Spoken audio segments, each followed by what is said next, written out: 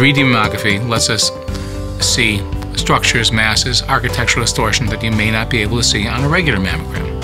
It's especially good in those women who have very dense breasts.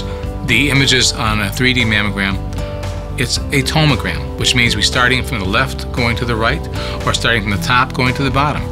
So you can see everything at different depths. So it gives us a little bit more of an advantage. A 3D mammography test is not that much different from the 2D. You still have the 2D as part of the examination. Uh, it may take a little bit longer, but you still have some compression of the breast in order to see the structures better. Well, I come to my doctor, Dr. Goodale, every year for my checkup, and of course, I always go for a mammogram. I've had a mammogram every year since I was 40, and I'm 77 years old, so and she called me about the second day I was over here and said uh, an abnormality had showed up that wasn't there a year ago to come in for further testing. Then when I did that, then the doctor down there, the radiologist advised that I would get a biopsy done. And so it showed up cancer. With 3D mammotomography, we are finding things we might miss otherwise.